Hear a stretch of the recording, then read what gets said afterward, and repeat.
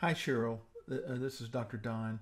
I'm looking at your file now, and I'm not really sure what this is. It appears that you're plotting the margin of errors as a separate data series than the means. And let me show you real quick how to do this. Um, you can just start out by selecting the, the uh, regions and the means. Let's go to Insert, Recommended Charts. And I always like to do these things starting with a line chart because it allows me to have uh, the, the names, the categories across the bottom. Then we just need to click on the line, right click, Format Data Series, and it brings up this dialog over here. And we want to click on the little paint bucket.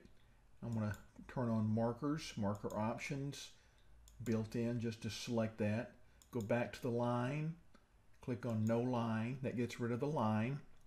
Then we right click, I'm sorry, um, click back in the uh, chart and we have the, the plus there to add chart elements. Go down to error bars, click on that, more options. Make sure that the uh, histogram icon, I call it, the columns selected.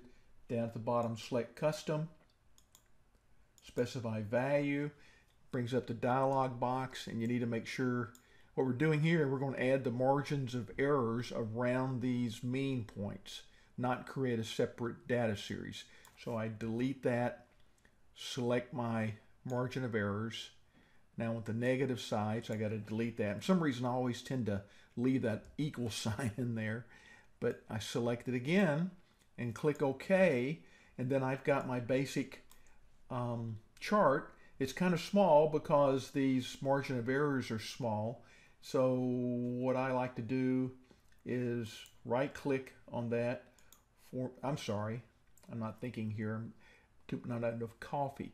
I want to click on the axes and go over here to the, the uh, histogram again and let's put the minimum to 2.5 and the max to 5.5 and that'll start to give us our chart there. You can see that the margins of errors differ for these, which they are over here. You just need to put the label, I think this is speed, and label the, the two axes, regions, and the mean score. And that pretty much has it. So I hope this helps.